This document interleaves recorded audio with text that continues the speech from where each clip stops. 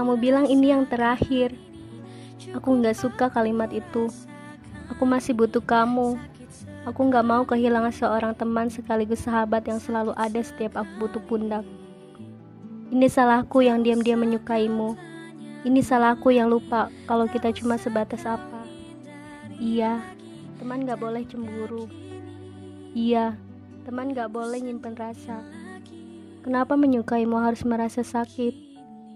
Ketika dihadapkan oleh situasi aku menunggumu, kamu malah nunggu dia.